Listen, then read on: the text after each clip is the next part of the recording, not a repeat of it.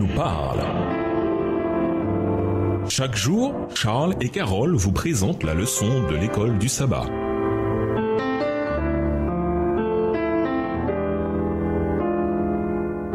Bienvenue dans votre émission Dieu nous parle. Étude de la semaine, juge 4, juge 6, juge 14, Hébreu 11, verset 32, 1 Samuel 2, les versets 12 à 25 et 1 Samuel 8, les versets 1 à 7. Verset à mémoriser. Anne pria. Elle dit Par le Seigneur, mon cœur exulte, par le Seigneur, ma corne s'élève, ma bouche s'ouvre toute grande contre mes ennemis. 1 Samuel 2, le verset 1. L'époque des juges fut une période chaotique dans l'histoire sacrée. Le peuple de Dieu faisait le mal aux yeux de l'Éternel.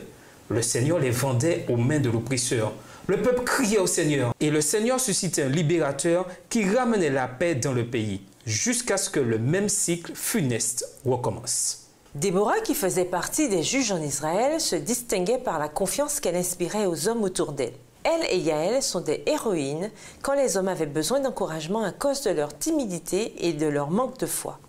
C'est un sous-thème récurrent dans le grand conflit qui se voit également dans l'histoire de Gédéon quand le peuple de Dieu faisait face à des obstacles insurmontables. Samson fut l'un des derniers juges. Après lui, le pays s'enlisa dans l'anarchie et la désolation. C'était un héros malgré lui. Il était davantage intéressé par courir les jupons que par suivre Dieu. Tout comme ses compatriotes s'intéressaient davantage à l'adoration des idoles que du Seigneur. Samuel a apporté l'espoir à la nation et avec lui une nouvelle structure dirigeante monarchique. L'un des derniers hauts faits fut d'oindre le futur roi David. Notre leçon de cette semaine se concentre sur le déroulement du grand conflit au temps des juges. Si, une fois sortis d'Égypte, les Israélites oublièrent Dieu, Dieu, lui, ne les oublia pas. Ils durent leur survie en ces temps difficiles, non pas à des tactiques de guérilla ou à des armes sophistiquées, mais à l'amour inébranlable de Dieu pour eux. Chaque fois que nous sommes pris dans la toile du conflit, Dieu peut nous délivrer. La leçon de cette semaine va nous aider à comprendre cela. Au revoir. Et à demain si Dieu veut. Dieu nous parle. Chaque jour, Charles et Carole vous présentent la leçon de l'école du sabbat.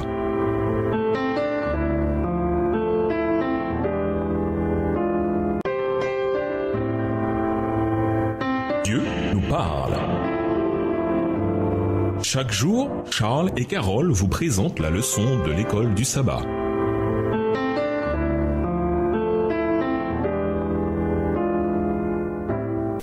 Votre émission Dieu nous parle. Déborah.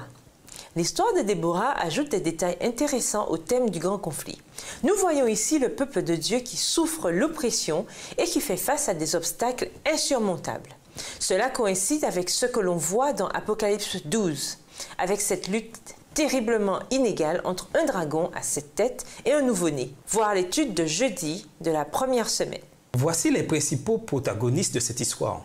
Yabin, roi de Canaan, Sisera, général de son armée, et Déborah, prophétesse et juge, qui réglaient les désaccords civils, qui avait un degré d'autorité et d'influence très inhabituel pour une femme de cette époque. Lisons Juge 4. Comment le thème du grand conflit s'exprime-t-il ici? À la fin, quelle est la seule personne qui a donné la victoire à Israël malgré leur indignité? Juge 4. Les enfants d'Israël firent encore ce qui déplaît à l'Éternel, après qu'Éhud fut mort. Et l'Éternel les vendit entre les mains de Jabin, roi de Canaan, qui régnait à Hatzor. Le chef de son armée était Sisera et habitait à Awoshech Goïm. Les enfants d'Israël crièrent à l'Éternel, car Jabin avait 900 chars de féant, et il opprimait avec violence les enfants d'Israël depuis 20 ans.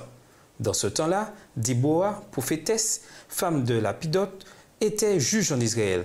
Elle siégeait sous le palmier de Déborah, entre Rama et Bethel, dans la montagne d'Éphraïm, et les enfants d'Israël montaient vers elle pour être jugés. Verset 6.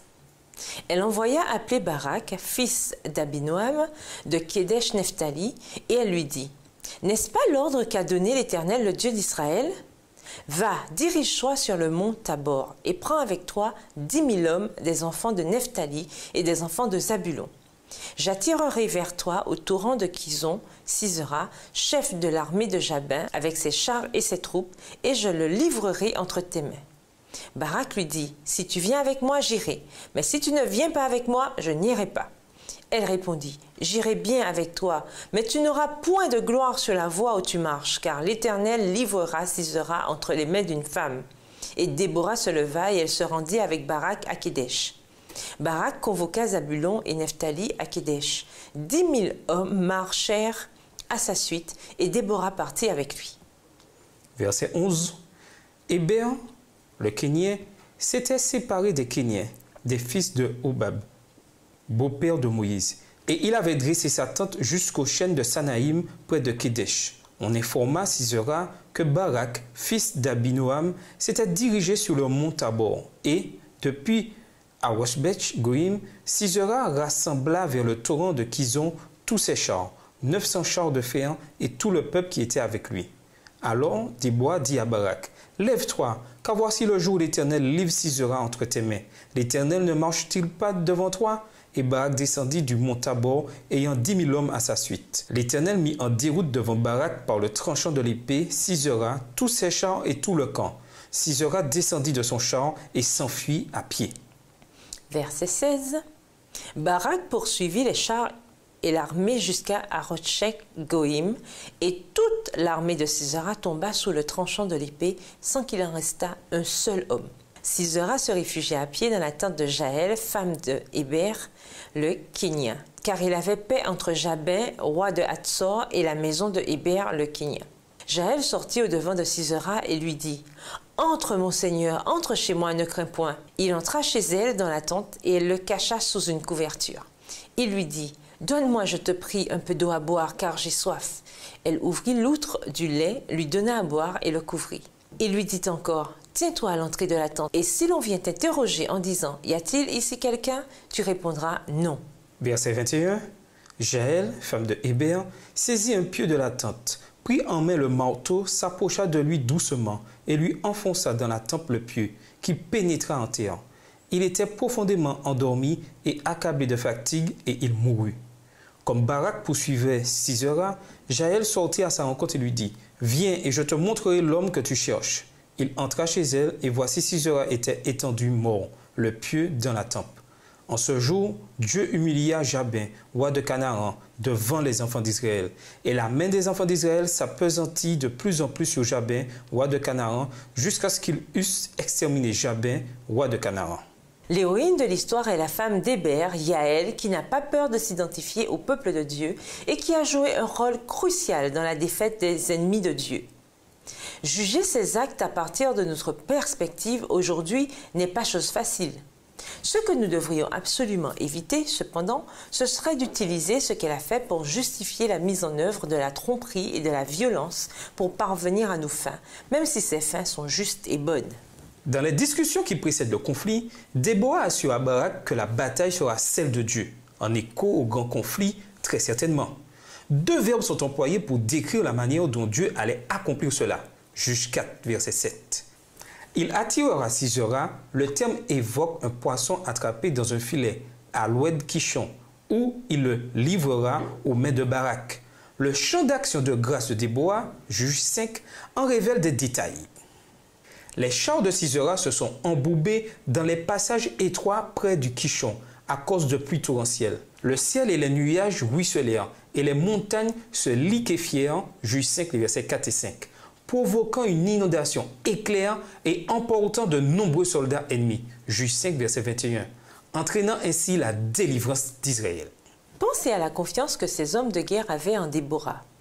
Tandis qu'à un niveau, c'était bien, évidemment, pourquoi doit-on toujours faire attention au degré de confiance que nous mettons en quiconque?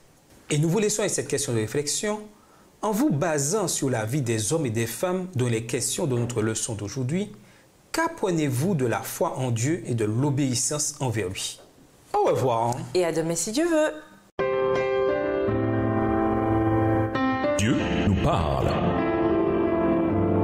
Chaque jour, Charles et Carole vous présentent la leçon de l'école du sabbat.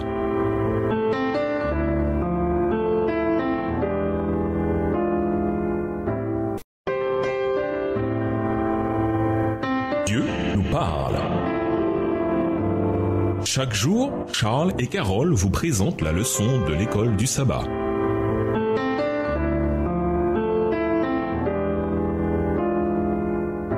Bienvenue dans votre émission. Dieu nous parle. Nous voilà au lundi 18 janvier, Gédéon.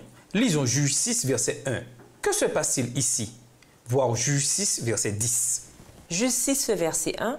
Les enfants d'Israël firent ce qui déplaît à l'Éternel, et l'Éternel les livra entre les mains de Madian pendant sept ans. Juge 6, verset 10.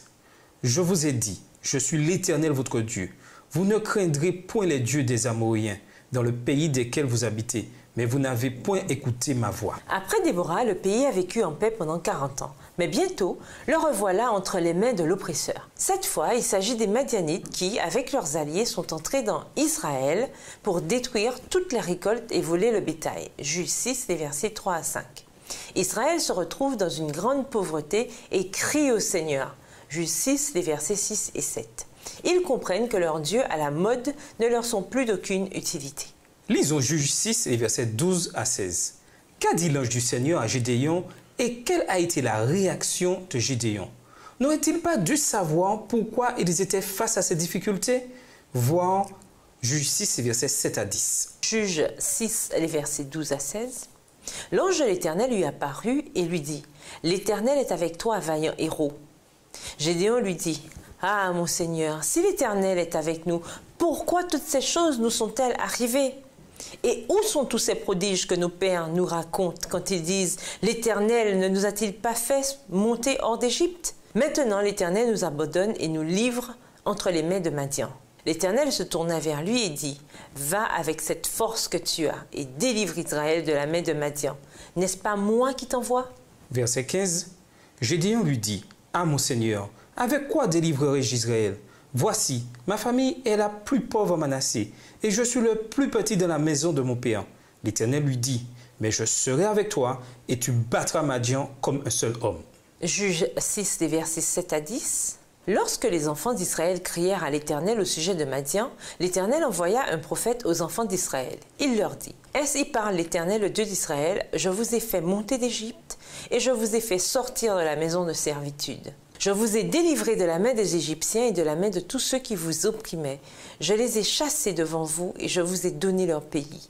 Je vous ai dit, je suis l'Éternel votre Dieu, vous ne craindrez point les dieux des Amoréens dans le pays desquels vous habitez, mais vous n'avez point écouté ma voix. Malgré la peine de Gédéon, qui était injustifiée, ils étaient désobéissants. Voilà pourquoi ils étaient opprimés.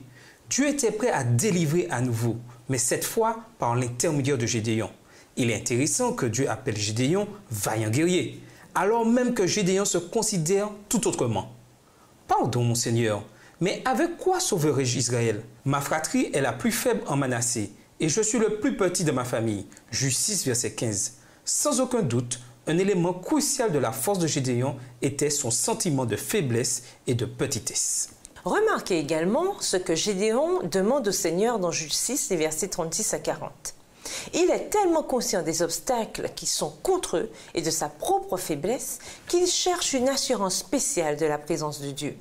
Ainsi, nous avons là un homme qui comprend sa dépendance absolue envers le Seigneur. Juge 7 nous relate la réussite incroyable de Gédéon contre les oppresseurs de son peuple. Juge 7 nous relate la réussite incroyable de Gédéon contre les oppresseurs de son peuple, ainsi que la délivrance divine d'Israël. Et nous vous laissons cette question de réflexion. Comment arriver à cohabiter avec nos voisins de confessions différentes sans toutefois embrasser leurs pratiques? Au revoir. Et à demain si Dieu veut. Dieu nous parle. Chaque jour, Charles et Carole vous présentent la leçon de l'école du sabbat.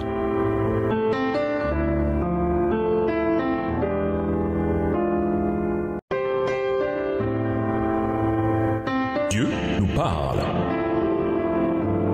Chaque jour, Charles et Carole vous présentent la leçon de l'école du sabbat.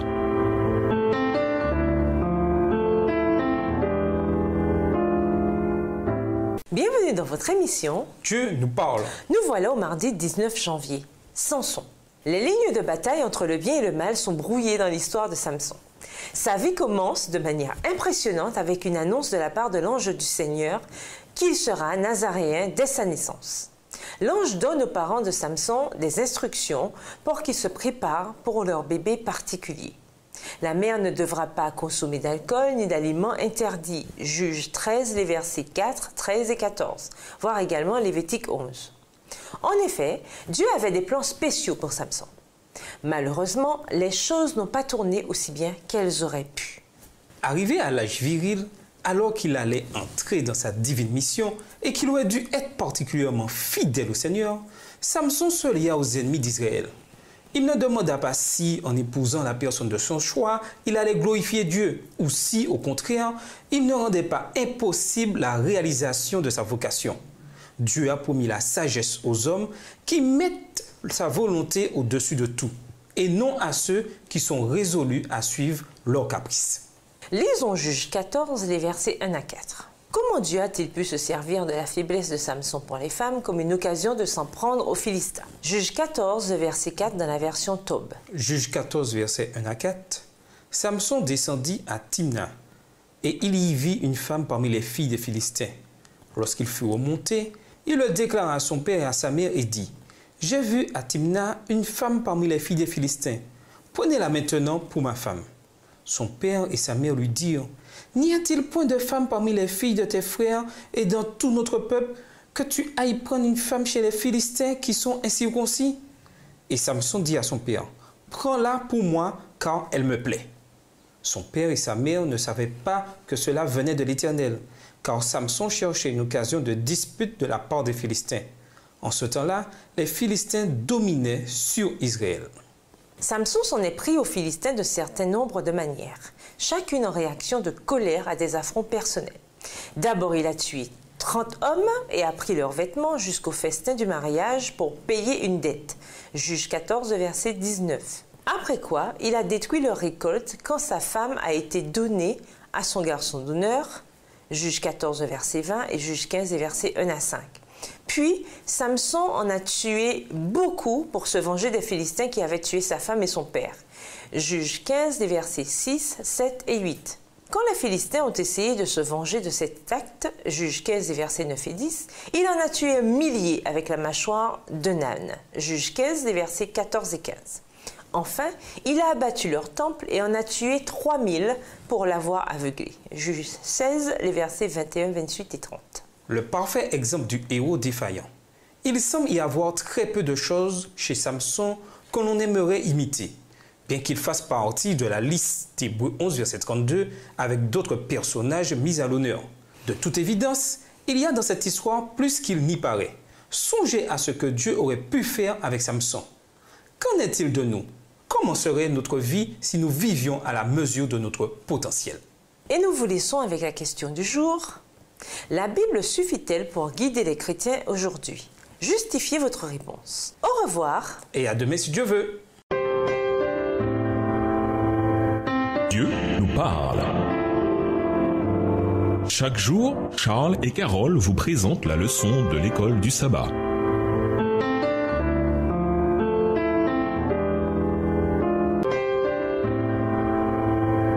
Dieu nous parle.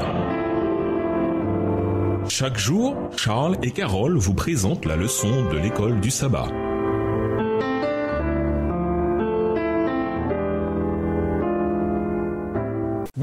Émission Dieu nous parle. Nous voilà au mercredi 20 janvier. 8. Plutôt que de parler des grandes armées ennemies qui menacent le peuple de Dieu, l'histoire de Ruth parle de quelque chose de plus modeste. Une famille qui se meurt, mais qui revient à la vie. Le récit comprend deux thèmes plus vastes la destruction de la création de Dieu et son peuple menacé.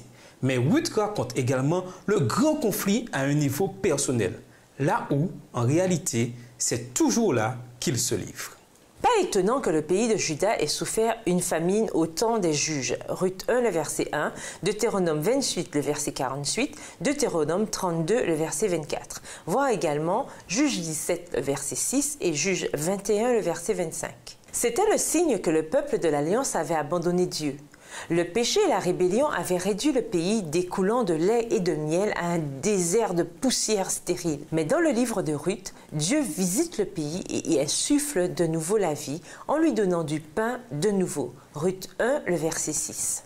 Quand Elimelech, sa femme Noémie et leurs deux jeunes fils sont arrivés à Moab, ils voulaient un avenir. Le pays de l'ennemi offrait une aide temporaire, mais une fois son mari et ses fils morts, Noémie décide finalement de retourner chez elle. Lisons Ruth 1, les versets 8, 16 et 17. Que signifie le fait que Ruth veuille accompagner Noémie? Ruth 1, les versets 8, 16 et 17. Noémie dit alors à ses deux belles filles Allez, retournez chacune à la maison de sa mère. Que l'Éternel use de bonté envers vous, comme vous l'avez fait envers ceux qui sont morts et envers moi. Les versets 16 et 17. Ruth répondit Ne me presse pas de te laisser, de retourner loin de toi. Où tu iras, j'irai. Où tu demeureras, je demeurerai. Ton peuple sera mon peuple et ton Dieu sera mon Dieu. Où tu mourras, je mourrai et j'y serai enterré. Que l'Éternel me traite dans toute sa rigueur si autre chose que la mort vient à me séparer de toi. Ruth faisait partie de la nation ennemie qui avait essayé bien des fois de détruire Israël, mais elle a choisi de s'identifier au peuple de Dieu et d'adorer leur Dieu. De plus, elle a trouvé grâce aux yeux de sa patrie d'adoption, non seulement à travers Bouze, Ruth 2, le verset 10, mais aussi à travers le peuple qui la connaissait. Ruth 2, le verset 11. Bouze croyait qu'elle avait également trouvé grâce aux yeux de Dieu. Ruth 2, le verset 12. Et allant un peu plus loin dans son admiration, il accepta de l'épouser. Ruth 3, les versets 10 et 11. Il y avait cependant un parent plus proche que Bouze, qui pouvait réclamer la terre du défunt s'il épousait Ruth. Mais le plus proche parent n'était pas intéressé par une autre femme, car cela compliquait ses plans financiers. Ruth 4, verset 6. À ce moment-là, l'Assemblée des témoins bénit Ruth en la comparant aux grandes femmes de l'histoire d'Israël. Ruth 4, les versets 11 et 12. Ce qui s'est accompli quand elle est devenue une ancêtre du Messie. Ruth 4, les versets 13 et 17, Matthieu 1, les versets 5 et 6. Voilà une histoire digne de contes de fées. Malheureusement, elles sont assez rares dans la Bible. C'est vrai que l'on n'en voit pas beaucoup non plus en général. Cependant, nous voyons aussi ici comment, malgré les aléas de la vie, à la fin, la volonté de Dieu l'emportera. Et c'est une bonne nouvelle pour tous ceux qui l'aiment et lui font confiance. Et nous vous laissons avec cette réflexion en tant que chrétiens. Si nous voulons que Dieu nous guide tout au long du grand conflit, nous devons rester obéissants à notre foi. Au revoir. Et à demain si Dieu veut.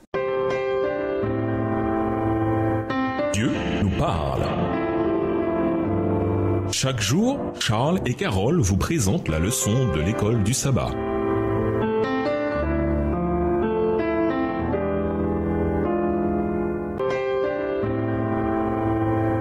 Dieu nous parle.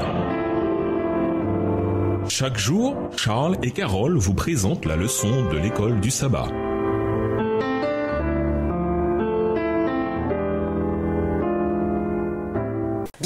Votre émission. Dieu nous parle. Nous voilà au jeudi 21 janvier.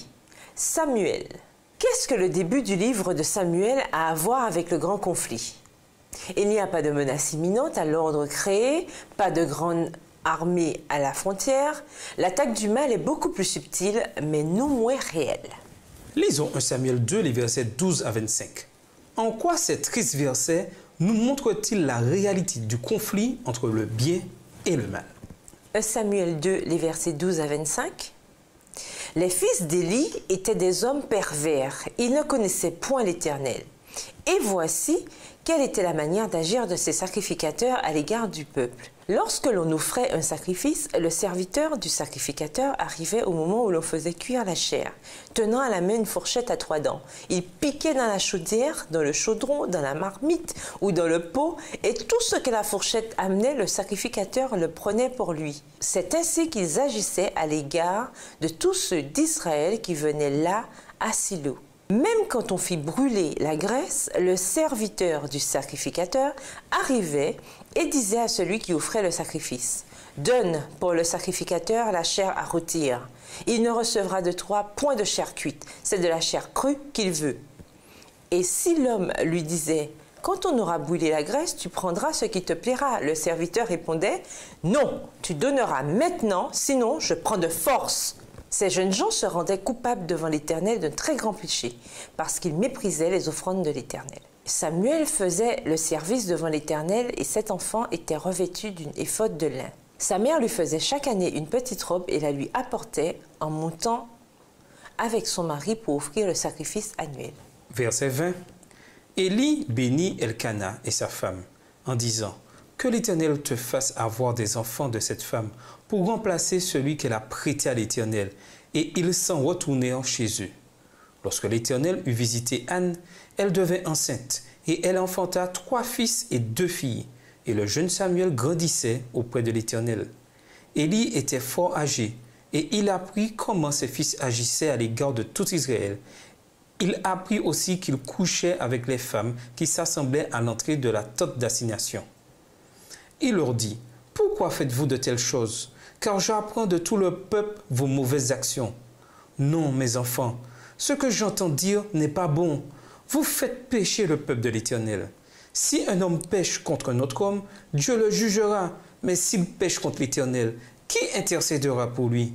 Et ils n'écoutèrent point la voix de leur père, car l'Éternel voulait les faire mourir. Divinement choisi pour exercer le sacerdoce, Élie était incapable de diriger sa propre famille.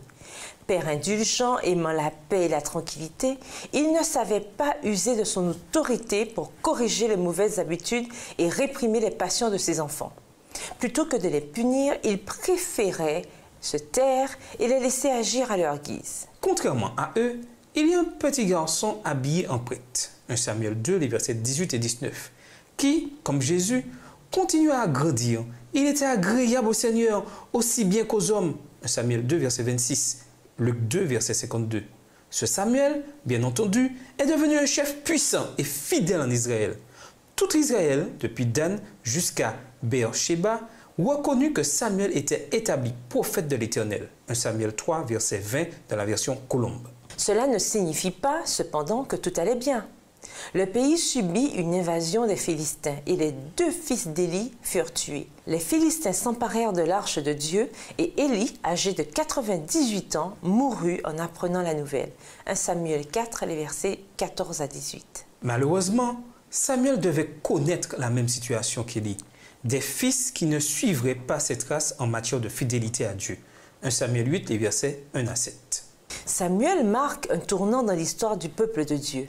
Il fut le dernier juge ainsi qu'une figure clé dans le grand conflit grandissant. Son influence stable a guidé le peuple à un moment critique. Quel dommage que ses fils n'aient pas suivi ses traces. Mais Dieu n'est pas tributaire de la généalogie humaine. À la suite de leur apostasie, les anciens ont exigé un roi, ce qui était loin d'être une riche idée, comme des siècles d'histoire le révéleraient. Quelle que soit la vie que nous avons chez nous, qu'elle soit bonne ou mauvaise, nous sommes responsables de qui nous servons dans le grand conflit. Quelles que soient les erreurs que vous avez pu commettre, pourquoi devez-vous toujours vous souvenir qu'aujourd'hui, maintenant, ce n'est jamais trop tard pour être au clair avec le Seigneur?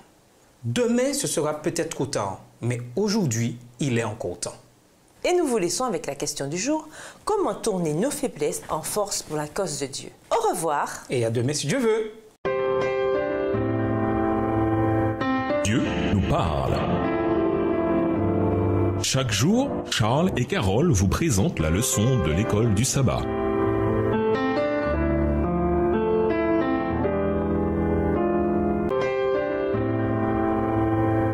Dieu nous parle. Chaque jour, Charles et Carole vous présentent la leçon de l'école du sabbat.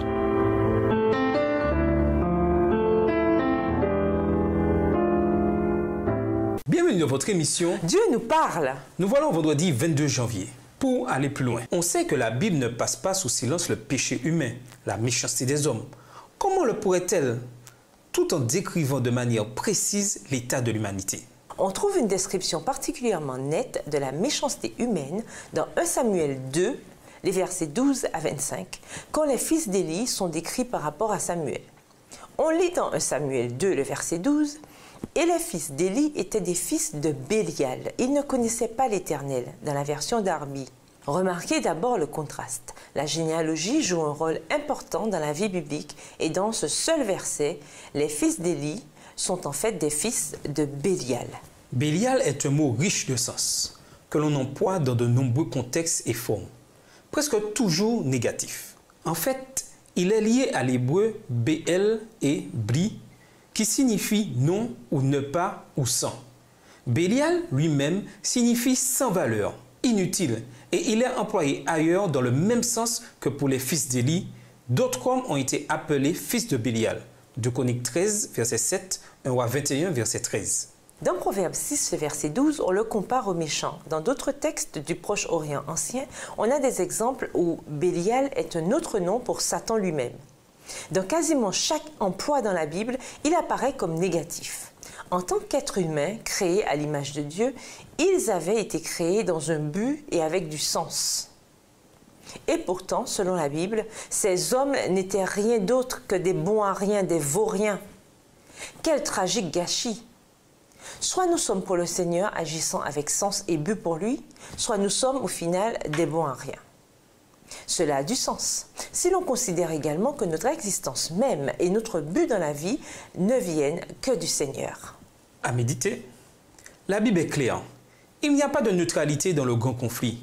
Soit nous sommes dans un camp, soit dans l'autre, soit dans le camp du Christ, soit dans celui de Satan. Et pourtant, la vie telle que nous la connaissons ne se déroule pas toujours de manière aussi claire et marquée.